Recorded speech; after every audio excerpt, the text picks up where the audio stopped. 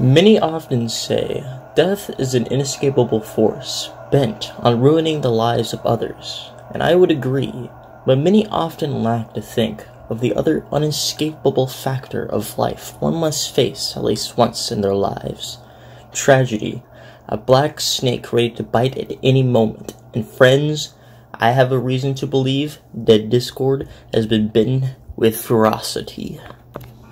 So, Discord's journey through death. You either love it or love the scream and hype or terror from it. Many moons ago, I did an extremely messy theory on the series back when there was only two episodes. I mean, I mean, look at it now. Now it has three episodes, and I'll tell you, there's never been a better experience than realizing there's lore and potential theory crafting for a My Little Pony audio drama and going on a 40 minute rant with just your thoughts alone. In fact, this video will probably be longer than 40 minutes.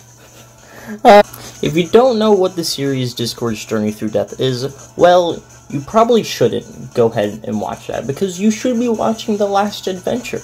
Then watch Discord's Journey Through Death.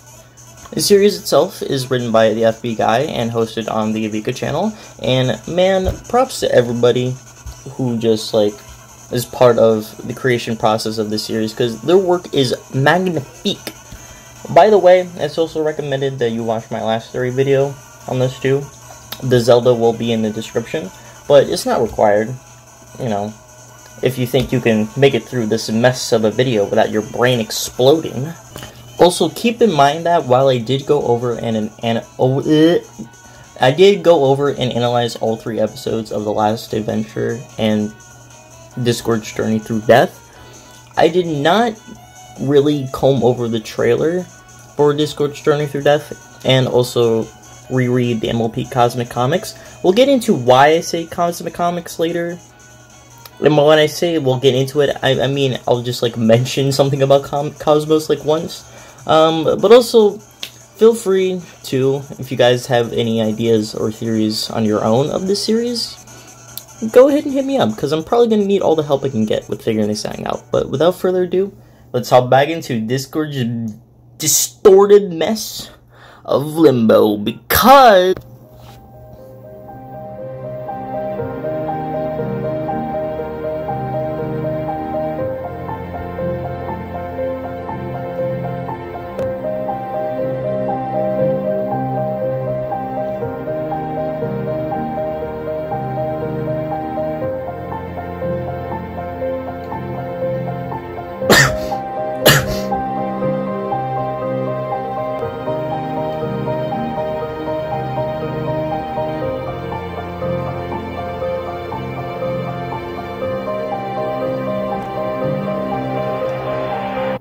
Let's review a bit from our last dive into the depths of this series, shall we? My last time in my last video, my main theory is that Discord was dead.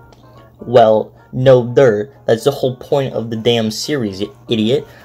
But the, the main part of it was my thought process was that this series was leading to the unhappy ending that happens at the last adventure, where Discord does not wake up from being dead, and you know, people are sad. And ladies and gentlemen of the jury, I have new evidence to support this theory. Let's start with this crusty freaking picture. My main belief is that this picture right here is meant to represent Fluttershy mourning the loss of Discord at his gravesite. This picture is even directly paralleled in The Last Adventure, where Fluttershy is once again mourning the loss of Discord. And here that is right here. But here's the thing, right? In the ending of The Last Adventure, where Discord wakes up and everything, he expresses great surprise at the fact that he was dead. Like, how do you go through one of the most traumatizing experience that you in limbo that you just you just forget about it just like that you know? Unless death just put a spell on you like to make you forget your memories. Like huh? And the most compelling evidence I have here is the fact that Discord straight up walks up to Twilight in the last adventure and asks, "Oh hey, could could could, could you go ahead and uh, just uh, delete my um, immortality?" Wait, wait, uh, no, you idiot! You were supposed to give that to Death there was this whole thing. How can this be the ending we're going for if in this ending where he succeeds, that he wakes up and doesn't die, he doesn't give his immortality to death, instead he just gets to take it away from Twilight? Like, and that is why I firmly believe that the other ending, where Discord doesn't wake up, is the ending we're going for. Hey, wait a minute. That's my that's my that's my ring. That's my phone.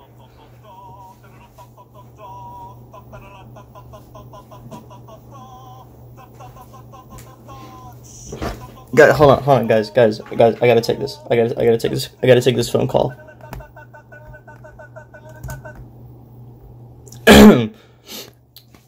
Uh, hola.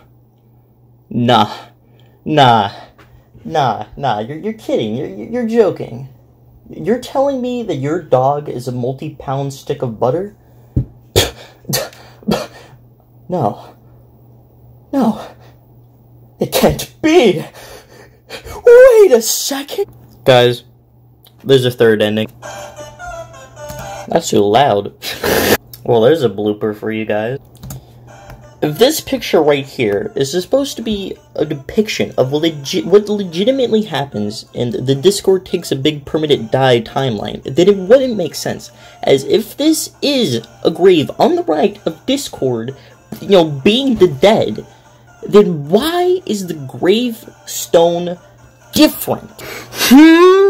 You could argue that maybe this this thing was just erected. This the statue was just erected after long after Discord died. Shut up. but not enough evidence for you? I hate you. In my last video, I had enough evidence to support the fact that Discord was indeed not going to come back to, back to life, and while this evidence does allude to a new third ending, it's not enough, so I will support a second theory to support this theory. Welcome back. Did you miss this picture? It's only been less than a minute. Going off this picture, we can assume that either Fluttershy was the only one to come to this funeral, or Fluttershy stayed long after everyone went back home. I believe it's the latter, as even though it's a third ending, Discord still died and defeated the purple goo monster in the last adventure, therefore ponies would have still found new respect for him and go to his funeral. Speaking of the last adventure, there is a lot of mention of Fluttercord, and how when one of them dies, the other will feel that immense pain of their loss. This is supported by Fluttershy's desperation in the last adventure, saying things like, I don't know what I'm gonna do without him, asking Twilight if they could go back in time to defeat Purplehead Big Stupid Head McGee without Discord dying and singing a whole entire song about his death and he, he and that how she will be depressed when he's gone. so here's the thing. Fluttershy is also dead. Now hear me out, you dumbleheads. Don't hit me with your nuclear attack beams yet. We obviously know that Fluttershy has been affected by his death, and that can take an incredible toll on a pony. Take a look at this picture. We got this disgusting looking creature here. Oh, wait a second. That's not a creature. That's that's you. So we got Discord sitting on, you know, stacked on top of Fluttershy here, being chained her. And I have a reason to believe that this is meant to symbolize the death of Discord weighing down hard on Fluttershy, making her worn out and depressed, as, you know, she, I mean, come on, she looks pretty worn out from this picture. She can't get her off her mind or out of her life. This would influence a certain deadly decision. Now, I'm not going to say the word, but you can probably infer that she kind of... Yeah, you know. My theory is that when she died and met up with death, she went to the River of Souls, which remember, we know from episode 1 that the River of Souls is kind of like a staircase. Going to the description Purple gives on life, it being like a staircase filled with a multitude of decisions you can't go back on, and it all ending with a door, I believe these two staircases are connected, and that this door is the door to the afterlife. I also believe that once you go through this door, that no one in the series has seen behind, remember, except maybe Death, that once you go through that door, you go through a rebirth of sorts. Also, by the way, while I was writing the, the script, uh, I learned that AKA actually stands for also known as. Why do you guys watch me? So, see this cocoon?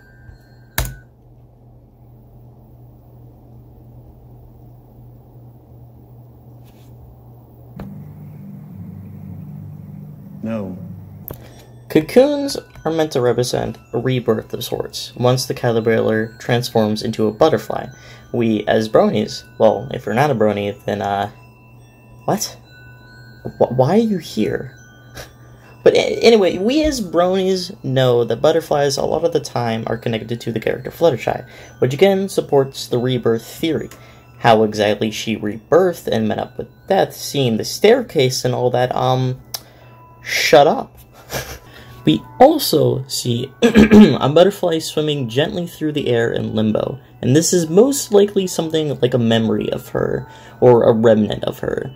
And this would explain why this butterfly barely says anything of, of substance, like, Discord, are you there? A Discord. Grow up, say something intelligent like spaghetti. There's also this little nugget of info. While I was rewatching The Last Adventure, I noticed that the thumbnail for the last episode had something a little, shall we say, noteworthy. This. Now, it may not seem that noteworthy, but the last theory I did, I really struggled. I, uh, I really struggled to speak also, but I really struggled to come up with a final consensus on what the freak this thing meant. You see the resemblance, huh? Huh? Huh? Huh? Huh? Now, at first, I thought that picture was supposed to represent some sort of like tornado thingy, but turns out that it's actually connected to the weird winged thingamabob picture that I just showed you. So basically, the tornado with wings loses his loses its wings. What does that mean? Well, wings typically symbolize a sense of freedom, and when you take that away, it can certainly make sense that Discord has a loss of freedom while stuck in limbo. But what really got me interested is that bro- broken or clipped wings can represent the loss of a loved one or losing something dear to dear to do a, a mishap. While yes, you could say that, well, of course Discord lost the one when he lost Fluttershy when he died. I'm not disagreeing with you, but I think it runs deeper than that. Why go through the effort to symbolize a lack of freedom in losing Fluttershy because Discord died? When that's already kind of obvious. A loss of a loved one means death, and yeah, I think Fluttershy would fit that role. Could I be wrong? Why, absolutely, I probably am, but it's something. Now, let us finally delve a little deeper into a character that I've neglected to mention up until this point. Y'all know the name A name you all know. It starts with an S. Perplay. Now, before we get into this part of the theory analysis, I would just like to say, as the li- like literally while I'm recording this right now, I just learned that Goosebumps got a new series on Disney, Disney, Disney, Di- Disney Plus. Like, what? anyway, now, now last time we established that there was something off. There was something weird going on with Purple. She she just doesn't seem to be who she says she is. Suspicious a lot of the times, and honestly contradicts herself sometimes. Say for instance in episode three, Skeletor in episode three states that they never go out into limbo alone and usually take a buddy and was confused to learn that when Discord met Purple, she was taking a walk out alone. It is clearly stated and shown that being alone in limbo is a very dangerous thing to do. But Purple, in the very beginning of episode this episode, asks if Discord is okay with taking a walk, and she makes the whole excuse with Skeletor needs fresh air. Discord then responds responds with, "Well, why can't you go, sucker?" And she's like, "Nah, man, I want to be alone." Then seconds later, when Red, Skeletor, Ellie, and Discord are about to take their walk, Purple asks if Ellie can stay alone with her. I thought you wanted to be alone. Let's review something, shall we? Remember this song? Paddle away from Equestria's white sands to search for my long ago forgotten friends, to search for the place I hear all sailors end, as the souls of the dead live forever in my mind. As I lived all the years Come on, jam with they me. left me behind, I'll stay on the shore, but still gaze at the sea. Oh, yeah. Remember the fallen, do they think of me? Our souls in the ocean together will be. Mm, so, so I looked more into that song that we just heard right now, and turns out it's an actual song. The song is called Bones in the Ocean, created by The Longest Johns, and the song is about a man who was the only survivor of a shipwreck, an event that took all of his friends. He then has to deal with survivor's guilt, and he ends up feeling so guilty that he decides that he's going to drown himself in the sea and join his dead friends. But right as he's about to do so, he realizes that he still wants to live out his life, as his friends would not blame him for surviving. They wouldn't like him to die as tragically as they did. He comes back to the shore to remember the fallen, and if they think of him. I I have something to say I want I have something I want to say to Purple. Purple? I'm sorry. I misjudge you. Ladies and gentlemen, Purple's story isn't about some sort of evil alternate plan bent on creating misery for our level protagonist Discord, but a, som- but a somber tale of survivor's guilt, how it all came to be. But to really answer what I believe to be the reason why Purple has survivor's guilt, a strong one at that, I must first go over a few things. We both most likely know that this right here was Purple in the past. In the past, I forgot to say, in the past. With her seemingly being sensitive about her eyes, and the fact being her eyes are swirly in the present and crossed out in this picture, and their ha- hairstyles being extremely similar, I think that we can safely assume that that at some point was Purple. The question is, what exactly happened here? Throughout the series, there's been some sprinkles of rebirth in the story. We just talked about it with Fluttershy. If we connect with Fluttershy dying and being rebirthed, then perhaps she rebirthed into the butterfly we see in Limbo. And if that is the case, then couldn't a rebirth change the physical and perhaps the mental state of Purple? Oh, why, yes. The blue pony was purple before she died, and when she died and met up with death, something happened. I find it quite peculiar that Purple described life like a staircase, which is how Death describes the River of Souls. With, with the ending being a door that you don't know what's through until you go into it. If no one knows what's through it, then hey, can't I just say that once you go through the door, you go through a rebirth process? But you may be asking, my dear viewer covered in plastic, if Purple was truly rebirthed or whatever, wouldn't she not be in this series? You'd be right. Unless something went wrong. Perhaps, hear me out here, there was some sort of disaster that wiped out Purple and quite possibly all of her friends. They were all going onto the staircase to the afterlife, but one of them rebels. She steps into the door, beginning the process of transformation. Right before that transformation is complete, she has a thought, an idea, a reflection on everything that has led up to this point, and she decides to rebel. It doesn't matter if you've had unfinished business or didn't live your life out to the fullest. You are supposed to walk through that door. But if your emotions don't matter on whether or not you go through that door, then why should she care? Somehow, in some way, she escaped.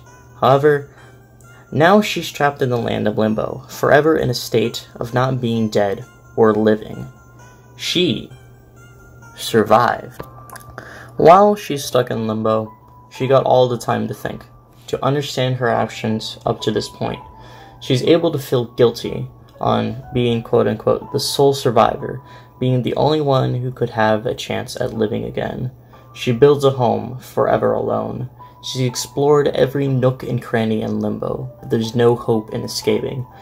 The survivor's guilt can fully consume her as she ponders what believes to be her last waking thoughts. But someone new comes by. It's one of Discord's very own creations.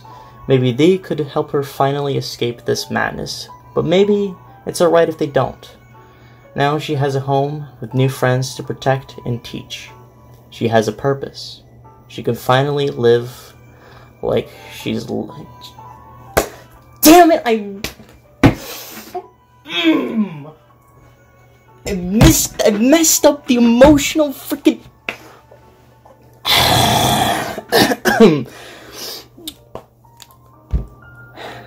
she can finally feel like she's living once again. While this theory, I believe, does have some weight, there are a couple problems with it. One of them being why Discord's, why Discord's creations are down in limbo in the first place. If we go back to my first theory video, I said that in episode 2, before Discord met Purple for the first time, he went to sleep in limbo. And that moment right there, the the in-between state after, you know, before he meets Purple, wakes up meets Purple, and all that stuff, I believe that is when all of Discord's creations got sent down into limbo. This is important to mention because I think Discord ended up sleeping for years in limbo. How that happened? I don't know, but it explains a few things. If Discord went to sleep for years in limbo, it would explain how Purple and her friends, Discord's creations, became so close and cared for each other deeply. It would explain how all these characters had such a deep past with each other, and it would explain how Purple is able to walk alone in limbo, since she's been there the longest and knows the place the best. It would make sense for her to be the leader of the group, and she certainly acts like the leader of the group anyway. This would also explain that one time that Purple was afraid of the dang door. The monster has the ability to turn into your worst fear. And if this is the monster, then Hey, Purples. Hey, hey, Purple, why is your worst fear a door? It makes you wonder about the door to the afterlife, doesn't it? it? Makes you think about all those friends you left behind, the fear of confronting them, huh? Oh yeah, by the way, Purple calls the monster a they when nobody else does. It's almost like she knows what caused that monster to manifest and learned that with her first interaction with the monster in the in the form of that door. But why did that monster form in limbo in the first place? You know, everybody's everybody always asked, what the freak is that monster doing? But nobody ever asked, how the freak is that monster doing? Well, you're supposed to go through the door to the afterlife, right? And Death knows this. Death's got a busy schedule and all, dealing with all the dead dudes, so I believe he made this little goo monster here to track down her and get her to the afterlife, to go through that door and rebirth. That would explain why it's hunting down the creations too. They're not supposed to be in limbo either. But this doesn't explain her connection to Discord. or does it? You see, there's another character here that I have neglected to mention in both this video and the last one. A character you all know, if you take the word supercalifragilisticexpialidocious and take all the letters out except for R, O, and G and put the letters in order so that it sounds like grow, then you would have the start of this character's name. It's Grogar! Woo! Yeah! Yeah! In episode 3, the monster turns into the form of Grogar's head and these many little head things that spoke in the episode, but I have no idea what the frick they were saying. Keep in mind this beast can form into your worst fears. Anyway, um, uh, roll the clip! A suitable grave for our reunion, boy. A reunion, huh? So you guys, um, you guys have met before? Grogar was mentioned in the last adventure, but we're not really going to mention that. What I will say is that this, in my eyes, pretty much confirms that these two have history. I would like to point out that since the beast can, again, form into your worst fears, like, why would Discord be afraid of Grogar's Scoob? This absolutely suggests history between the two, and it's not just that. You could once again argue that, oh, well, maybe it's just referring to the fact that Discord turned into Grogar, but oh, that just confirms me theory even more. Tell me, me viewers still covered in plastic out of everything Discord could have turned into in season 8. Why did he choose to turn into Grogar? He could have chosen any old rusty villain from the past, but he chose Grogar. It certainly fits for Discord's character, I would say. Besides, Discord and Grogar probably having history. I don't have too much to say about Grogar, though. Purple exclaims that she never really had parents, but Grogar could have been that parental figure in her life and would explain the connection Purple has to Discord.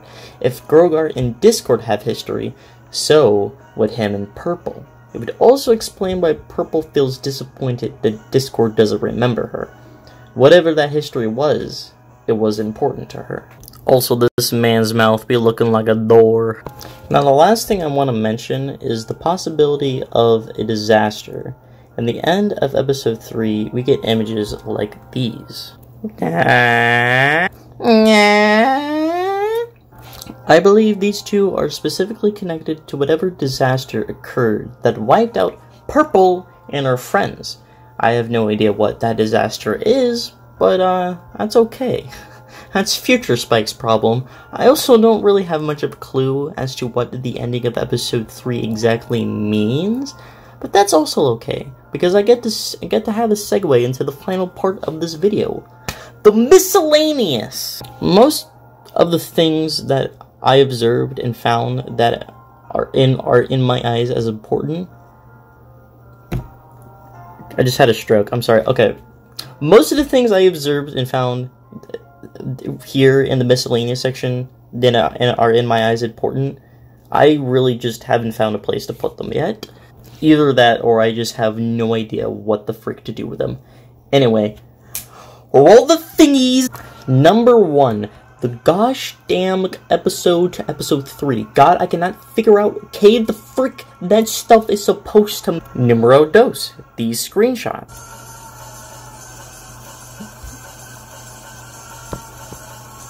Sorry, I'm jamming right now. So yeah, the night sky, the Ponyville at nighttime, and I get the last one is Death's Eyes, but like, I don't know, man.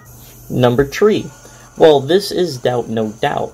Well, this is doubt, no doubt. No, this is this is death, no doubt. But why is he playing a piano?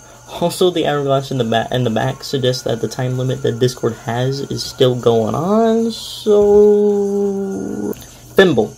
Yeah, I think this is just a hint that Grogar is a thing here, and that he's connected to Discord somehow. I hate you. Six garden rent. I'm gonna go with my original thought process here in this picture. I believe this is simply meant to represent the fact that Discord does not have all the pieces to the puzzle. He's missing information. Plus, this picture in episode 2 was the only one that got any attention put onto it. So I think that this here is supposed to just be a starting point to all the MLP theorists out there. And by all them, I mean me. The seven pits of heck. This stupid humbugalo Frankie Dingle pie. I saw this the last time I was making a theory on this uh, on this series, and I thought nothing of it. Thought, oh, maybe this th- th- this one maybe just isn't important, though it could be important.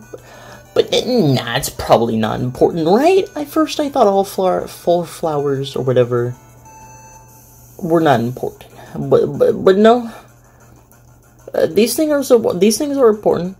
So at first, I'm just like, okay, maybe all four all all four of these pictures are important. But the pink tulips are absolutely uh, the the one that is most interesting of note. They're the only one that have scratch marks. Well, possible scratch marks put on it. I don't really actually know what the the black lines are, but they are the same color, whoop-de-doo, as the marks on Purple's picture. You know, when before she died, possibly. And pink tulips do represent rebirth, and I'm pretty sure this relates to Fluttershy and her rebirth. But that's really all I can say about this thing. Well, there you have it, guys. Another messy, overcomplicated and incomplete theory about our favorite audio drama, Discord, and his journey through death. It's been a lot of fun coming up with this theory, and I think I've improved a lot in my crafting compared to the last time I did this. I got a lot more stuff figured out. Wherever the series goes next, I'll be here, sipping my coffee and screaming at the screen over how my theory did not come true. Hope you all enjoyed this video, and until next time... Wait a minute. I forgot to do the ominous ending. The inescapability of tragedy plagues the lives of our main protagonist once again. Whether it be Friendship is Tragic, Silent Ponyville, this series right here, or some other fourth option I can't think of right now. We just can't seem to start torturing. Stop torturing our favorite My Little Pony characters. So I leave you all with a question to ponder on about the morality of making them suffer. Why stop